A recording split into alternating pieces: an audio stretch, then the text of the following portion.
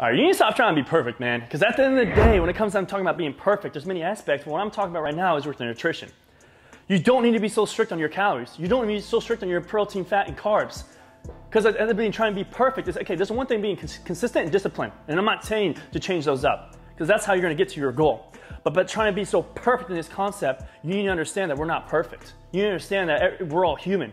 You understand if you're trying to be so perfect by hitting those calories every single day, let's say your calories are 2,500 calories and you're trying to hit that every single day to the T, dude, you're, you're gonna get frustrated. You're gonna be annoyed. You're like, bro, I gotta hit this and this and this. And you're, you're always gonna be thinking about calories, calories, calories, calories, macros, fat, protein, carbs.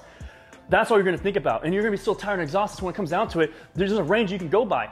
If you can go up a little above, you can go down a little above, and you're still to see amazing results. So, so when I'm talking about the results and, and, what that range is, if you go above 100, 150, or below 100, 150, you're fine. Whether that's putting lean muscle or losing weight, you're fine. You're still to see amazing results, and you're still to, but you're to enjoy the process better, and that's what we want.